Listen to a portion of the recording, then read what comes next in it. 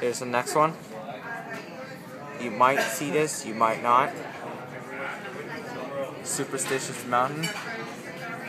A prominent landmark in the eastern valley of the sun where many residents go for recreational purposes.